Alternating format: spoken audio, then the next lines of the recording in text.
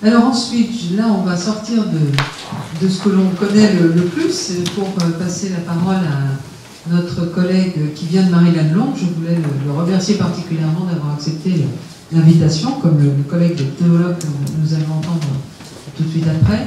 Merci beaucoup d'avoir accepté cette invitation et merci de venir parler de l'évolution de, l'imagerie multimodalité en salle de cathétérisme interventionnel chez l'enfant, bien entendu tous, mesdames et messieurs. Merci euh, bien sûr à vous, au contraire, de, m'avoir invité euh, dans cette assemblée à vous présenter euh, ce qu'on peut appeler alors, la chirurgie interventionnelle.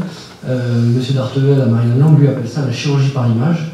Et donc c'est pour ça que finalement j'ai choisi d'orienter cette, cette, review sur les apports de l'imagerie multimodalité qui sont nécessaires pour tous les progrès qui ont été réalisés dans le, cathétérisme interventionnel. Je me suis appuyé sur ça sur une revue de la littérature qu'on a publiée l'année passée. Et je souligne en particulier aussi la collaboration avec Jean Petit et Marie qui, à qui je dois beaucoup euh, pour, euh, mon apprentissage dans ce domaine. Je voulais aussi euh, revenir aux fondamentaux finalement du cathétérisme, ce qu'on pourra appeler après la chirurgie interventionnelle. le cathétérisme, c'est quoi? C'est au Werner Forsman, à l'âge de 25 ans, le chirurgien urologue allemand, qui, le premier, à, l'aide d'une infirmière qui l'avait un petit peu soudoyé, s'est passé un cathéter à travers la veine euh, basilique et puis remonter comme ça euh, jusqu'à son cœur et aller prendre un cliché de radioscopie pour prouver qu'il avait par le fait, par un cathéter, pu atteindre le cœur et c'est la première image et preuve que l'on a d'un euh, cathétérisme. Il a pour cela après bon, eu des, problèmes un peu il y en a puis autres et il a fini finalement médecin un peu égaré et pour autant il a obtenu le prix Nobel de, médecine par la suite vers les années 50 pour son initiative. Alors ensuite, euh, le cathétérisme a euh, extrêmement progressé. Euh, d'abord diagnostique et est devenu par la suite interventionnel, permettant initialement dès 1953 la, dilatation et la perforation de valves, en particulier la valve pulmonaire. Et puis par la suite, avec le développement de prothèses, de coils en particulier, eh bien, on a pu fermer des chantes. Alors, ce sera le canal artériel et la CIA qui sont les deux chantes congénitaux cardiaques les plus fréquents mais on peut aussi euh, procéder avec le développement des stents eh bien, euh, à l'ouverture de rétrécissements de vaisseaux, comme une coartation, comme des rétrécissements sur les artères pulmonaires. Et puis euh, maintenant, on peut même, depuis les années 2000, et le développement des valves pulmonaires percutanées, eh bien, les valves percutanées, eh bien, procéder au remplacement valvulaire percutané, et en particulier, nous, en, en cardiopathie congénitale, en position pulmonaire, notamment après correction complète de titrage qui laisse une fuite pulmonaire à long terme. Mais j'ai plutôt euh, voulu euh, orienter la présentation sur l'imagerie. Pourquoi? Parce que sans imagerie, eh on ne peut pas réaliser tout ça. Et euh, l'imagerie est absolument nécessaire pour d'abord visualiser les lésions, les rapports anatomiques avec les structures avoisinantes pour pouvoir ensuite intervenir. Et l'imagerie est nécessaire pour visualiser les dispositifs médicaux et les éléments qui vont être nécessaires, la coordination qui va être nécessaire entre l'œil, la main, pour pouvoir procéder à la mise en place de ces dispositifs. Vous avez ici, en vue euh, échographique 3D, une prothèse de fermeture de CIA. Vous avez ici un, stent sur, euh, pour traiter une coartation aortique. Et vous avez ici un coil qui euh, va franchir la valve aortique et qui va être retiré et positionné sur une, communication interventriculaire. Alors tout ceci a été rendu possible par les progrès technologiques avec maintenant des, arceaux mobiles qui permettent d'avoir des, des, multiplans, qui permettent de travailler de, façon orthogonale, en biplan, de façon simultanée, des capteurs plans qui nous donnent une imagerie euh, bien meilleure, comme on va, le voir en finissant la présentation, une imagerie de, fusion même entre les différentes techniques d'imagerie.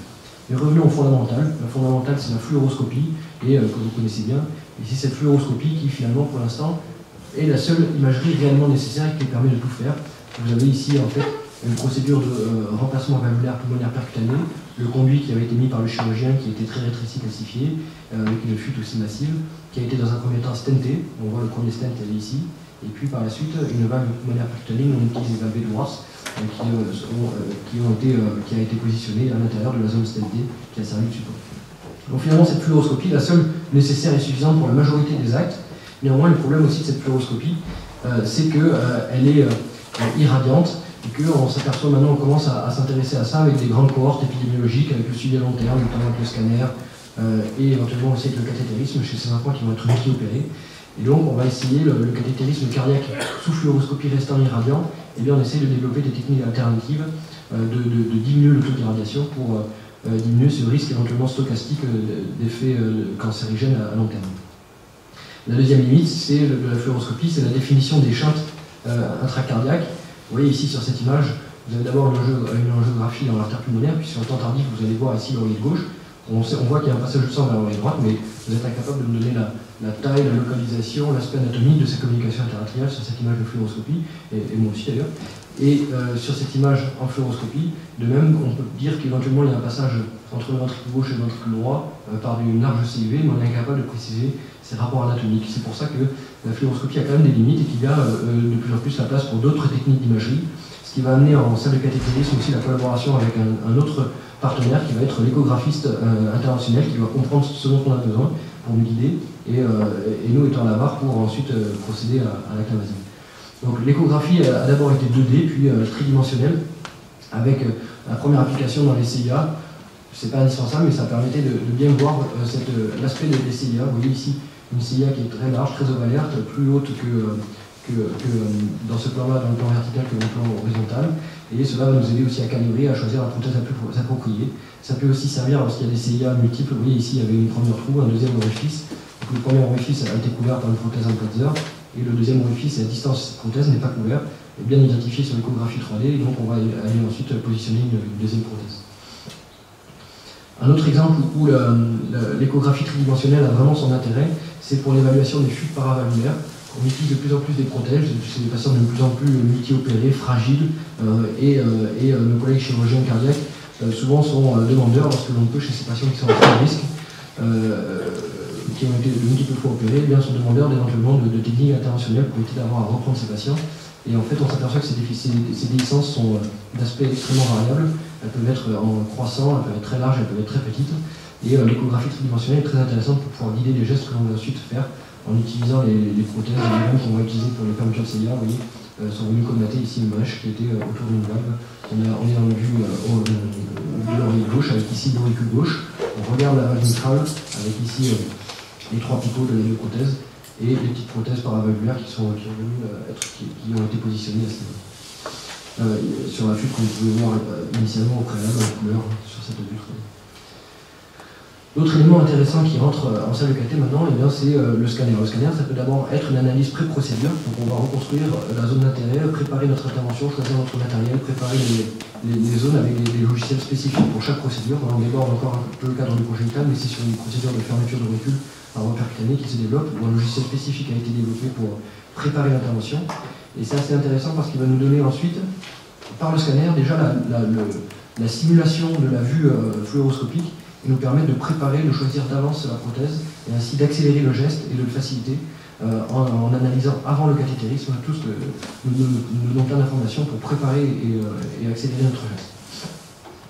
Mais le scanner, qui, qui peut être aussi réalisé avant une intervention pour d'autres raisons. On ne va pas forcément le faire spécialement pour le cathétérisme, mais s'il a été réalisé, eh bien, on peut l'utiliser pour le coupler à la fluoroscopie pour avoir comme ça une sommation des images fluoroscopiques en 3D qui vont apparaître sur la fluoroscopie et qui vont nous permettre de finalement de euh, positionner plus facilement nos, stents sans avoir besoin de faire de, manière euh, répétée des, angiographies, de refaire des incidences supplémentaires, et donc ainsi de gagner du temps et de diminuer finalement l'irradiation et d'accélérer la procédure.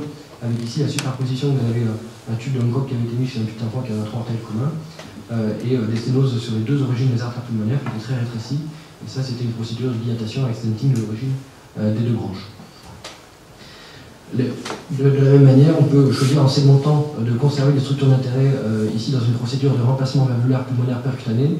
Et le problème dans ce type de procédure qu'on peut rencontrer, c'est éventuellement une compression des structures avoisinantes et en particulier des coronaires.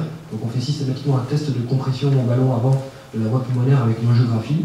Et là, dans cette procédure, c'est l'équipe de Nantes euh, qui je dois ces images, eh bien, la coronographie avait été euh, conservée ici et superpositionnée à la vue droite, permettant euh, de, lorsque l'on faisait le test de dilatation au ballon, eh bien, de voir la, relation avec les coronaires, de vérifier qu'elles étaient bien à distance. Et finalement, on voit ensuite, après l'implantation du premier stent, qui est bien à distance coronaire, puis de la valve, euh, là pour le coup, ils ont utilisé une valve mélodie, un autre système, peu importe. C'est le même type de, procédure. Donc cette fusion d'images entre le scanner ou l'IRM et la fluoroscopie peut être intéressante de même pour faciliter euh, certains gestes de, de, cathétérisation interventionnelle plus complexes.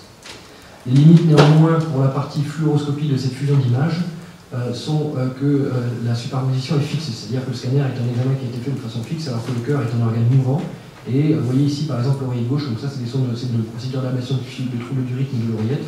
On a voulu mettre l'oreillette gauche de façon stable euh, sur la fluoroscopie, en fait on s'aperçoit qu'on a des rapports qui ne sont pas complètement euh, fiables, euh, que ça varie dans le temps, parce que la superposition avec le scanner ne suit pas la mobilité du massif cardiaque au cours du temps, donc il n'y a pas une réelle fusion, il n'y a pas une fusion temps réel.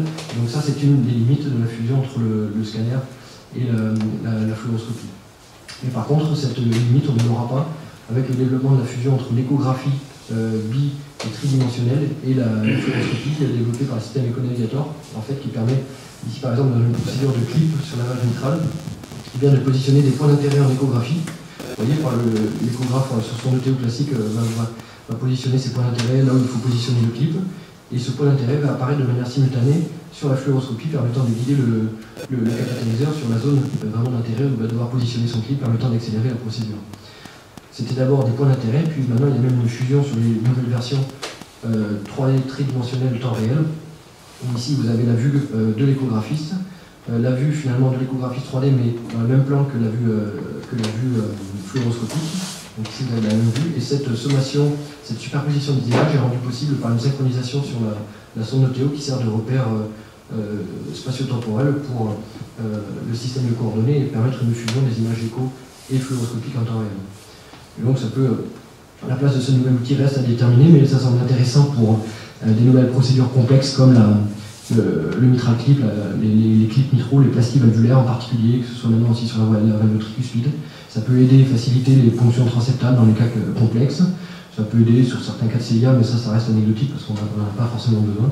Et ça peut aider aussi éventuellement sur les fuites euh, euh paravalvulaires. Voici des images en fait de superposition. Vous avez le, septum interatrial et la prothèse que l'on voit pas forcément toujours très bien en fluoroscopie. Et là, vous avez à la fois une, superposition de la, de, CIA, on va voir ici une CIA double. Par exemple, vous voyez, en fluoroscopie, on voit apparaître directement sur l'écran la, CIA avec ici qui était barrée ici par une petite membrane. Et là, l'échographie a permis de, vérifier que l'on était bien passé par le trou principal euh, pour pouvoir faire d'abord la calibration au ballon qui va nous servir ensuite à choisir la, prothèse pour, de fermeture. L'avenir, c'est quoi dans, notre domaine, dans la chirurgie interventionnelle? Eh bien, c'est éventuellement le cathétérisme même sans rayon X, que ce soit à l'aide de l'échographie ou même à l'aide de l'IRM. Mais ça, pour l'instant, ça reste vraiment du domaine de la recherche, euh, parce que c'est extrêmement compliqué. Il faut développer des cathéters qui soient visibles dans l'IRM, il faut développer des cathéters qui soient manipulables dans l'IRM, il faut des structures très complexes qui permettent éventuellement d'avoir les deux euh, salles parallèles. Donc ça reste pour l'instant réalisé par quelques équipes de recherche, notamment à Londres, mais pourquoi pas. Euh, en tout cas, il commence à arriver à faire des, cathétérismes diagnostiques euh, comme cela et quelques cathétérismes interventionnels sur les animaux. L'autre euh, perspective intéressante, par contre, c'est le printing préalable à un cathétérisme. Ici, vous avez cette équipe qui a, dans une procédure de revalvulation de la voie pulmonaire, imprimé en 3D le modèle de la voie pulmonaire, qui était une voie large, native, après une tétralogie de opérée, il y avait une fuite pulmonaire large, et il n'était pas certain qu'elle soit euh, accessible à une réévaluation pulmonaire percutannée compte tenu de sa largeur. Et ils ont donc imprimé le modèle et testé ex vivo en mettant des systèmes de stent un peu un petit peu en poupée russe. Ils ont testé la faisabilité de la mise en place de la valve euh, ex vivo avant de reproduire la procédure in vivo. Néanmoins, pour cela, pour, l'instant, cette technique a encore euh, beaucoup de limites parce que le printing ne sait pas encore reproduire la, la, souplesse du tissu vivant de façon fiable. Et donc en fait, on n'a pas une modélisation du dynamisme de la main droite que l'on va pouvoir avoir cours du cycle cardiaque. Donc pour l'instant, ça reste encore approximatif. Et le futur, c'est probablement ces, nouvelles techniques d'imagerie aussi euh, qui vont nous permettre de traverser le travail dans le cœur, la, modélisation euh, holographique. Et pour l'instant, c'est cet avenir que l'on voit souvent dans les, livres. Et finalement, pour l'instant, ça, ça, devient même maintenant de la réalité, puisqu'on a une première publication qui a été publiée euh, cette année dans l'European Heart Journal sur euh, cette nouvelle technique d'imagerie. Je vous remercie de votre attention.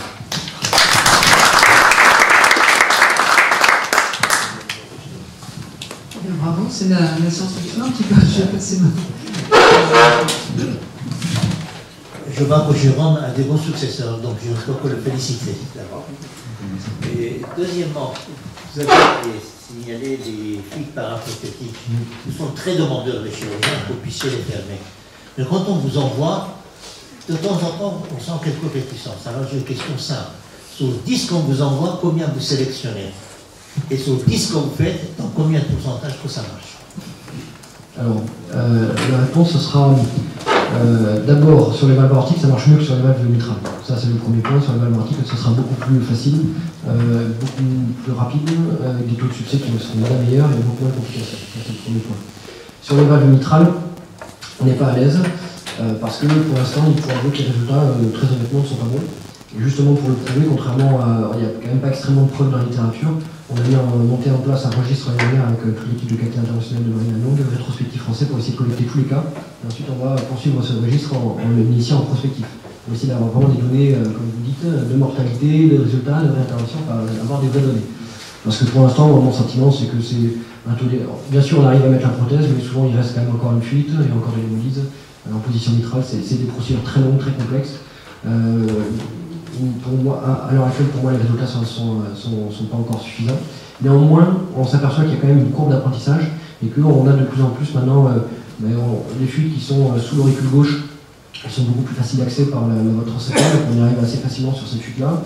Ça, va dépendre effectivement de la taille de la fuite, c'est-à-dire qu'une fuite qui fait moins qui fait à peu près un huitième de circonférence, ça on y arrivera assez facilement. On y arrivera aussi maintenant, il y a des techniques pour aller mettre plusieurs prothèses d'affilée comme je vais vous montrer, donc qui nous permet d'aller sur des fuites qui fassent un quart, mais lorsqu'on s'attaque à des fuites qui font un demi, alors on n'a pas des, très bons résultats, il y a, cet euh, aspect qui rentre en jeu. Les fuites qui sont vraiment proches paracétales, ça sont beaucoup plus difficiles d'accès, mais euh, avec Benoît Gérardin aussi à qui avait travaillé sur ce domaine, et bien finalement en bouclant dans l'oreillette, on, s'en sort, on arrive à. l'autre possibilité, c'est de ne pas aborder par voie transeptale, mais d'aborder de façon collaborative avec le chirurgien et de travailler par la voie transapicale, où finalement il est dans le sens du flux, et ce qui lui permet de franchir plus facilement le défect dans, sa portion périprothétique et pas intravasculaire, et donc d'accélérer les choses, mais la, voie transapicale a, quand même aussi un risque iatrogène. Alors moi j'étais très favorable à cette voie parce que ça me faisait gagner un temps fou, et euh, malheureusement on a eu un accident sur finalement une, petite lésion d'une intercostale qui a saigné, qui a même penchement de qui a un peu pour l'instant, on, navigue encore un petit peu à vue, à mon sens. On n'a pas de, et le point majeur, c'est qu'on on utilise des prothèses dédiées de ce qu'on utilise pour les plugs, pour les fermetures CIA, pour les canaux, et on n'a pas de prothèses dédiées pour cette fuite par la vue. Vous voyez, c'est un sujet qui me passionne aussi. Est-ce que je peux faire un peu de publicité pour vous Par contre, parmi les choses qu'il n'a pas dit, c'est que l'embolium paradoxal, une ovale, ils le font ça en un quart. Mais il n'y a pas que ça. Quand il y a une insuffisance cuspide avec un petit foramen ovale pervers, les gens sont cloués au lit à cause d'un chien de droit-gauche. On leur envoie, ils le font en un quart d'heure, les gens se lèvent, ils marchent. Mais une troisième variété, ce sont des gens d'un certain âge qui ont l'aorte qui est dilatée, qui devient horizontale et qui appuient sur l'oreiller droite, et à ce moment-là, ils ouvrent le foramen et ça donne des chiens droite-gauche et qui sont très gênés. On les opérait dans le temps pour essayer de mettre un truc vertical, mais maintenant, ils mettent un petit ovale fermé, il vous faut combien? 12 minutes ou 15 minutes? Oui, c'est un pied. voilà. Donc, ils ont fait des progrès fantastiques dans ces domaines et ça donne des résultats très très bons. Merci beaucoup. Autrement dit, il n'y a plus besoin de chirurgien cardiaque, hein, si je comprends Mais au contraire. Oui, tout d'abord, bravo, c'était absolument magnifique. Je suis, vraiment tout à fait admiratif de cette, cette, technique. Je voudrais revenir sur le problème de la dosimétrie. Est-ce que vous avez observé, euh, comme ce que l'on voit chez les enfants qui ont été suivis pour des scolioses, un surcroît de, cancer du sein et de la thyroïde chez les enfants qui ont, qui ont eu des procédures de ce type avec, avec un recul suffisant et deuxièmement, comment est-ce que vous gérez en pratique quotidienne ce problème crucial de la dosimétrie Alors, euh, pour répondre à la première question, on manque encore de données, on est vraiment à l'heure de la prise de conscience. Et donc, en fait, il y a euh, euh, l'équipe de, la, de, du, du je vais vous montrer son image de Mme Besson, qui a en fait repris tous les catétérismes réalisés en France depuis X années, mais de tous les centres français. Euh, ah, j'ai pas mis les affiliations, mais bref, euh, en collaboration avec euh, Marine Long et les clients en particulier, mais avec tous les centres français. Et donc cette base de données, cette étude coccinelle, hein, comme elle a été appelée, eh bien, va nous donner ces, réponses parce qu'ils vont colliger tous les, ils ont colligé tous les cathétérismes, ils, vont ils ont essayé de reproduire sur des modèles la dosimétrie de chaque patient, de chaque cathétérisme, Et puis, ils vont le croiser avec les registres des, can- des cancers qui sont euh, bien développés en France. Et donc, en croisant ces, ces registres, ils vont essayer d'évaluer justement de répondre à ces questions euh, sur l'incidence des cancers du sein et, de la thyroïde, en particulier la thyroïde. C'est vraiment aussi un organe qui, qui nous intéresse effectivement parce que c'est vraiment sous le champ euh, en particulier. Donc, c'est vrai que euh, ça, ça nous préoccupe, mais pour l'instant, on n'a pas de données.